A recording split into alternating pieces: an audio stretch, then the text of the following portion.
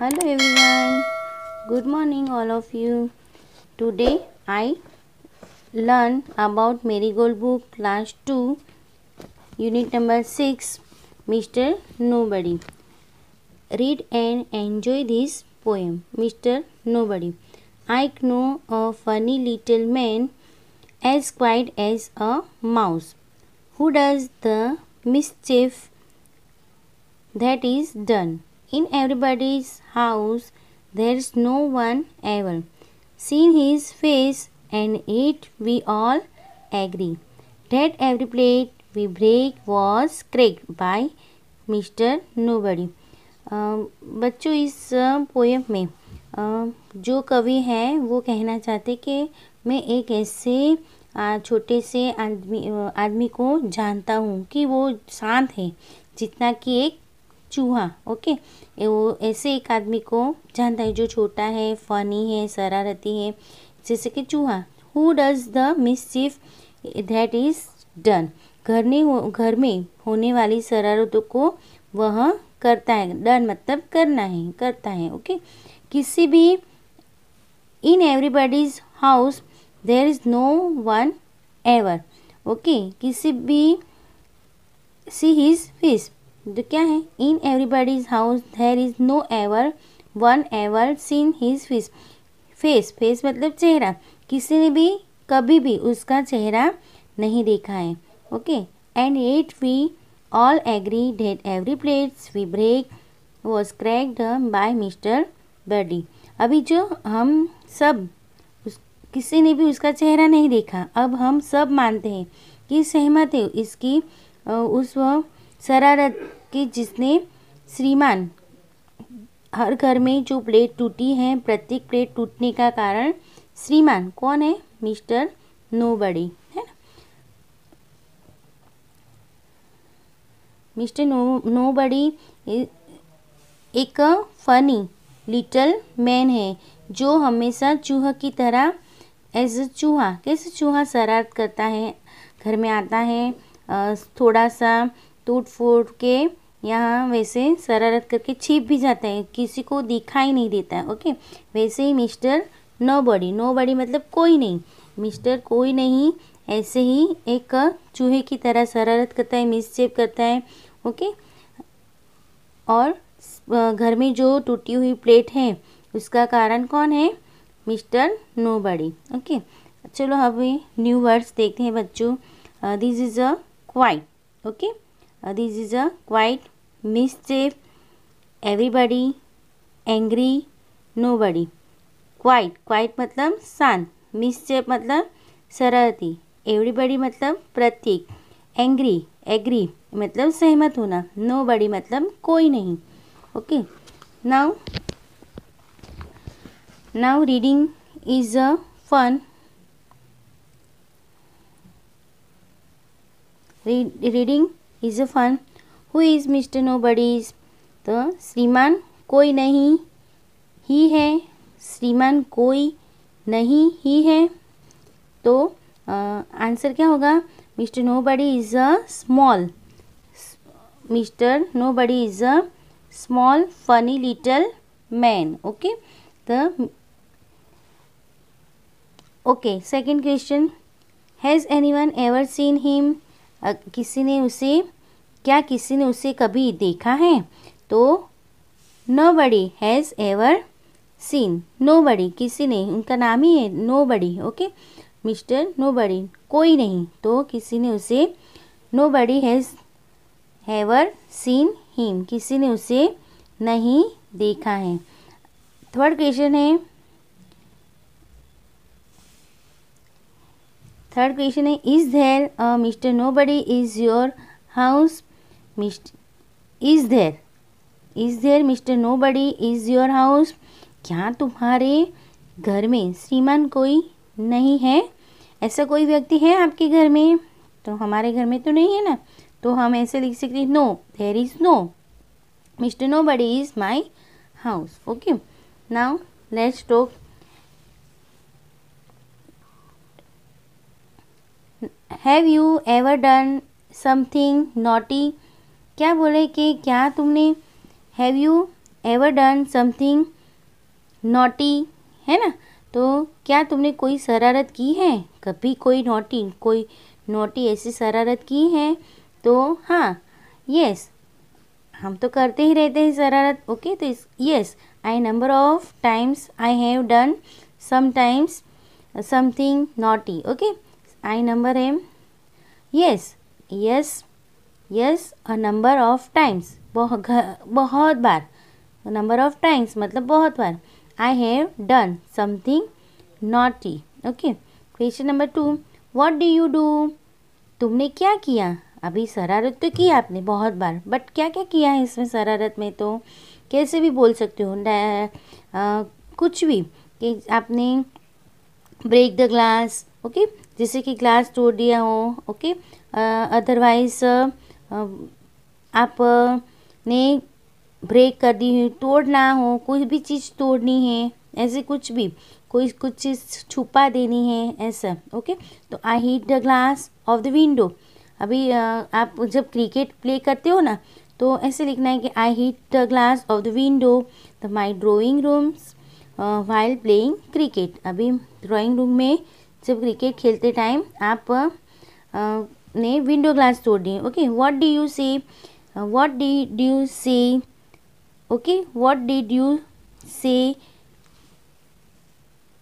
तुमने क्या कहा? ओके तो अभी कोई आ, आप आप कोई भी शरारत करते हो ओके तो कुछ, कोई भी मम्मी हो या पापा हो, आपके पर एंग्री होते हैं ना, गुस्सा करते हैं ना तो उस टाइम आपने क्या आंसर दिया होगा? कभी दिया? तो उससे सॉरी हम उससे कुछ भी मिससेव होते तो हमें सॉरी कहना चाहिए ओके तो और आपकी गलती को स्वीकार करना चाहिए। तो वट डिड यू से तो आई एक्सेप्ट माई फॉल्ट मेरी शरारत को, मेरी फॉल्ट मेरी भूल को मैं स्वीकार करता हूँ और उन्हें अपने बड़ों को सॉरी कहना चाहिए एज मदर फादर को सॉरी कहना चाहिए।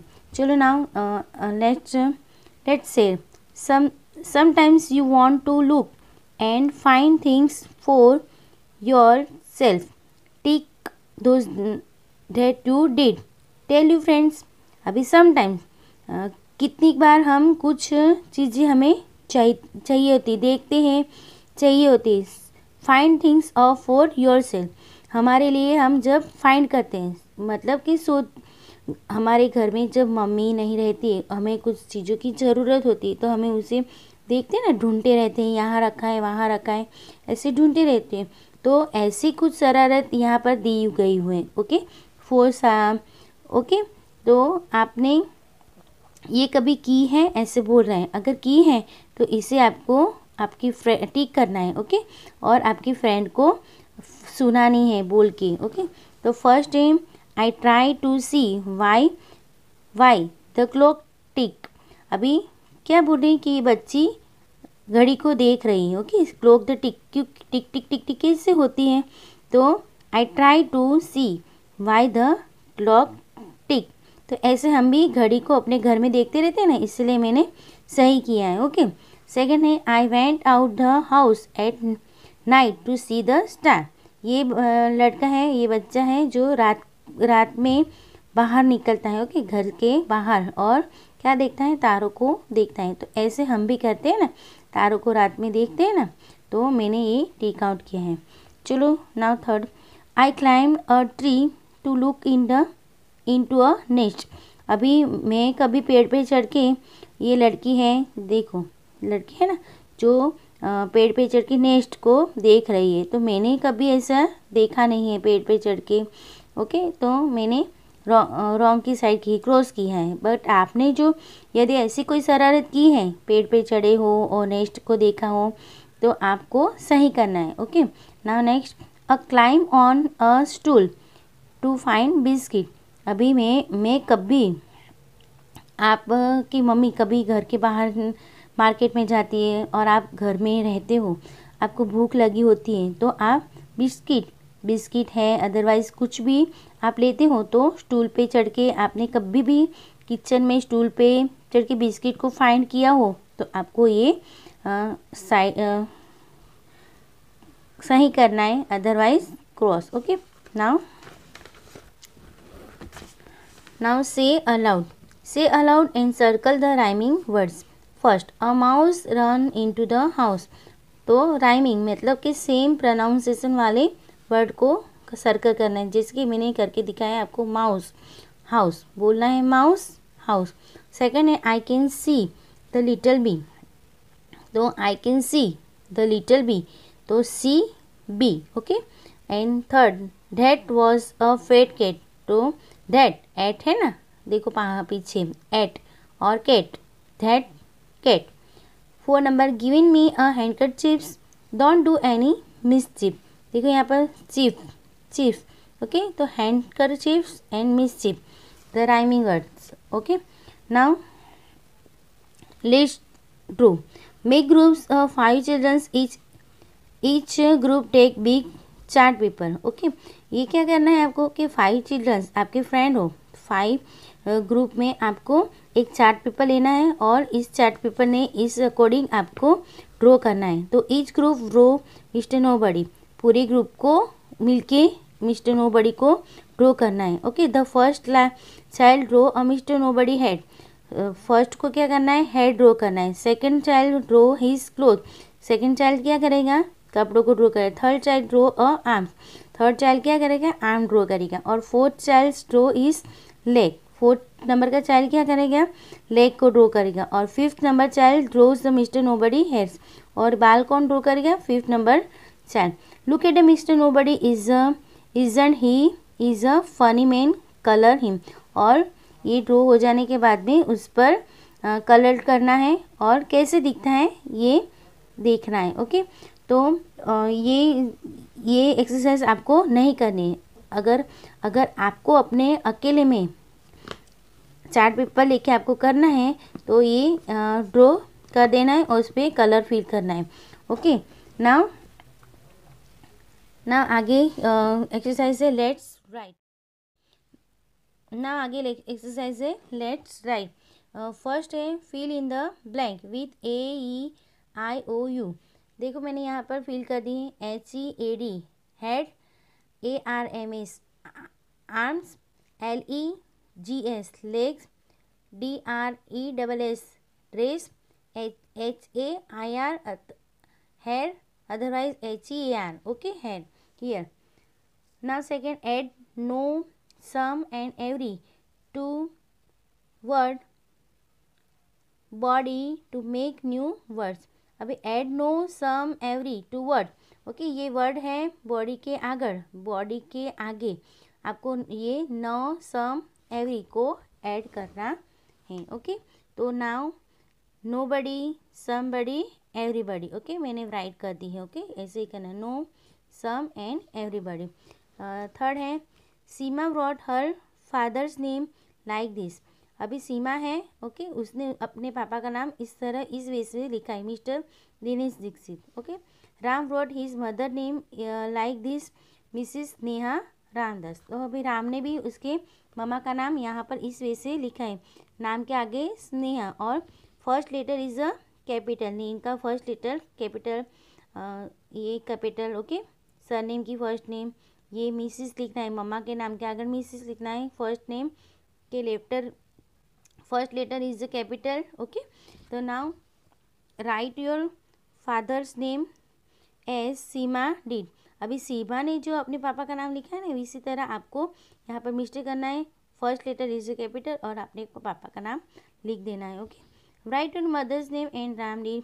अभी आपको क्या करना है? राम की ने अपने मम्मा का नाम लिखा है तो आपके भी आप, आपके भी आपको भी अपनी मम्मा का नाम यहाँ पर लिखना है। जिस यहाँ पर बट आगे M R S miss missus कहते हैं ओके मिसिस स्नेहा। स्नेहा है तो आपके मम्मी का नाम जो भी हो तो उसका नेम के पहला लेटर कैपिटल में राइट करना है okay the now use mister and missus to write more names you know आप मिस्टर और मिसिस का यूज़ करके आपको मोर देन आपके अंकल आंटी का नाम लिख सकते हो ओके आपके पहचान वाले कोई भी अंकल आंटी हो, उनके नाम यहाँ पर लिखना है। अंकल का नाम यहाँ पर आंटी का नाम यहाँ पर, ओके?